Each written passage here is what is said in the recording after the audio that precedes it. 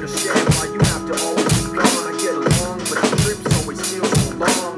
I find myself trying to stay by the phone, cause your voice always hits me and I feel so alone, but I feel like an idiot. Working my day around the call, but when I pick up, I don't have to say, so you know, it's a little fucked up that I'm stuck here.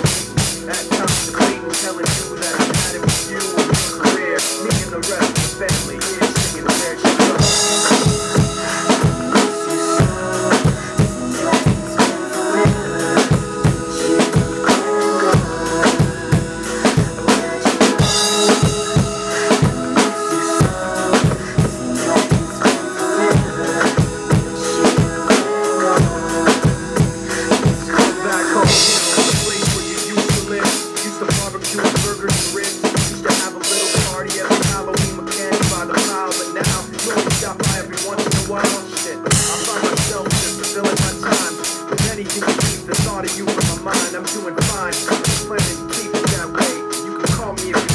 have something